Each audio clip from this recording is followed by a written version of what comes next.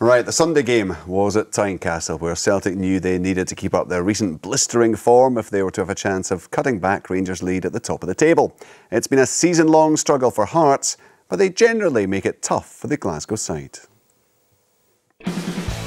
They went in front in the last league meeting thanks to Suso Santana. But a rare Chris Killen goal levelled the match, and Glenn Loovens won it deep into stoppage time. Better luck for Hearts in the Cooperative Insurance Cup tie, where Samaras missed a host of chances, and Michael Stewart scored the winner from the spot to earn Csaba Laszlo's men a semi-final place.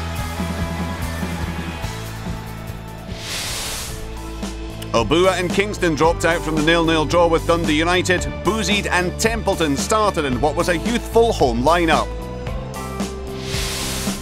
Tony Mowbray made a huge seven changes from the midweek Europa League encounter, reverting to the team which won at Motherwell last weekend. The highlights with Paul Mitchell. Crosas. In neatly to McDonald, fell back in Carves, no free kick. And Nguemo. On to Robson. Robson with a measure cross, Samaras! Should have pulled it back to McDonald as Kello made the save. Well, Celtic have failed to score in two of the last three against Hearts, but an early chance here. Great crossing from Barry Robson. Should have been pulled back. Wallace loses out, so McGeady picks up. McGeady tracked back by Eggert Jonsson. Still McGeady. Samaras out wide on the left hand side. Rolled on to Samaras. Good save, Marian Kello. Pushes the ball onto the post. It's another good move from Celtic though. McGeady onto Samaras and Kello with a save. McGeady onto Hinkel. They'll try and work the 1-2. Palace Palazuelos will go with him. And Goncalves concedes the corner. Involved very early, Aiden McGeady. Robson's corner. Hit off the post. Samaras! McDonald struck the woodwork. Samaras struck the net. 21 minutes gone at Tynecastle, and it's the visitors who have the lead. McDonald peeled away in the middle. He hit the woodwork. And Georgios Samaras stood and waited for it. He scores for the first time against Hearts. Jonsson. A simple ball.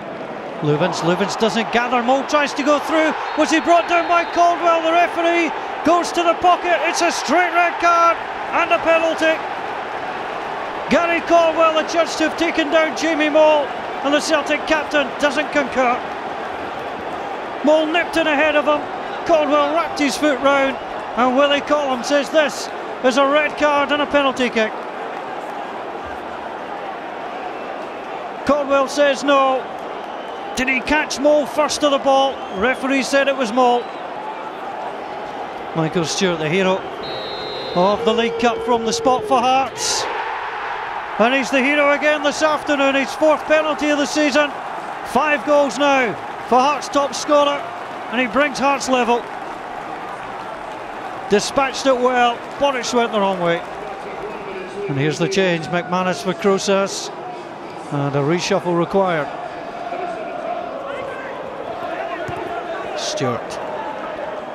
Ball back onto Thomson. Robinson waits for it. Hits off Loovens. Robinson going in again with McManus.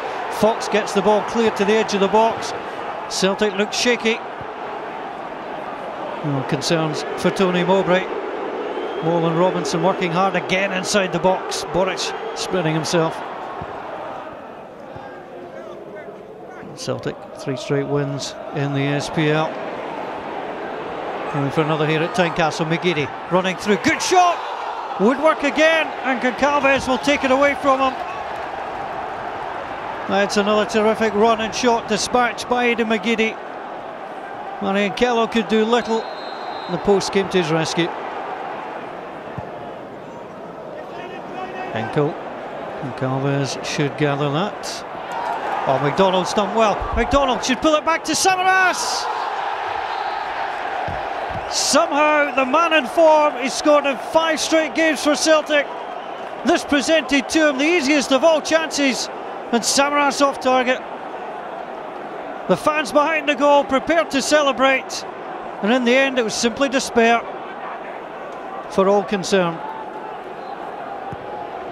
Thomson with a free kick. Doesn't beat the first man. Here comes Templeton, who's impressed this afternoon. Away from Fortuné. Templeton arrows it in! And Ismael Bouzid scores for Hearts with 14 minutes to go. Wonderful piece of play wide on the right hand side. The cross was a dream. The goal was a bullet header. And the man who is about to get substituted scores for the first time for Hearts. Ismael Bouzid. Samaras gets the break from Zaliukas. Good save by Kello. Thump cleared by Wallace. Fortuné watches it. Well, Celtic continue to be dangerous. Down to 10 men. Losing by two goals to one. But they're still pushing. Lovely little ball through. Samaras too easily away from Zaliukas. And Kello strong with the hand. So Robson over the free kick. Robson floats it deep. Fortuné comes back into the middle. And Marian Kello gathers. May have struck the arm with Fortuné. Robson sent it across. Did come off the elbow, then the post. No free kick awarded, and Kello grabbed it before Samaras. Robson, Celtic continuing. Put the pressure on Hearts. Robson swings it in. The header is going to be off the line by Thomson. The header from Loovens. Scored against Hearts already this term, but no double joy this time. Got across his man, headed goalward. Thomson on the post. 2 1 it was for Hart. Csaba László does his version of the robot, it would seem. Big handshake with uh, Tony Mowbray, then another little celebration. You can understand the relief all rounds at Tynecastle. It's the first home win since the end of September for Hearts. Um, much needed. I've got to say, it didn't look like coming in the early stages. Celtic absolutely dominant, and yep. it's not often Celtic go in front and then chuck it away. No, and I, I, think you're absolutely right. They did chuck it away. The ordering off was costly. Um, slackness generally by Loovens and Samaras in particular. Uh, having taken the lead at this stage, a simple goal of McDonald peeling off at the back post. He should probably have scored, but the ball falls to Samaras and he puts it away, even although he's in amongst a ruck of Hearts players. Uh, and at that stage, from what had gone before, you thought that Celtic were going to go on and win comfortably. But the game changed completely as soon as the ordering off occurred. Well, it, was just an instant, wasn't it? And you're anticipating Glenn Loovens clearing here, he doesn't, and then suddenly the game changes. Absolutely. Uh, you know, I don't know whether he had switched off momentarily and thought McGeady wouldn't play it back to him. You'll see where Willie Collum is there. Uh, Willie, like everyone else, had presumably been anticipating Loovens would play the ball up the park. But fortunately, Willie was quick enough to react in the right position to judge that it was a penalty. And no doubts when you see it like that. You think.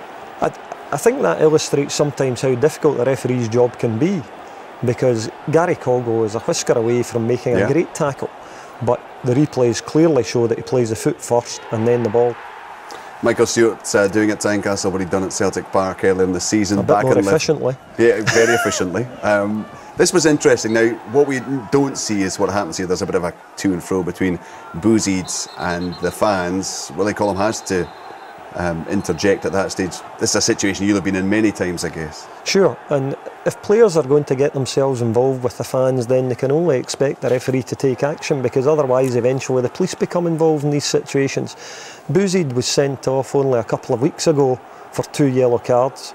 Csaba László has come out in the papers today and said that he was well warned before the game. He only wanted them to defend, and not to do anything else, particularly not get involved with fans. Well, he was about to be hooked. He yep. couldn't get the hook, and then this. yeah, it's a great delivery from Templeton, a magnificent cross, um, and Bouzid makes every effort to get there and gets his reward and then he does get substituted, as you say. Off he goes, and, and the words from Csaba László, and that's the kind of thing I guess you would encourage. Well, I think it's smart on the part of Csaba László. He recognises he's got a central defender who has picked up a caution, whether it's a stupid one or otherwise, doesn't matter.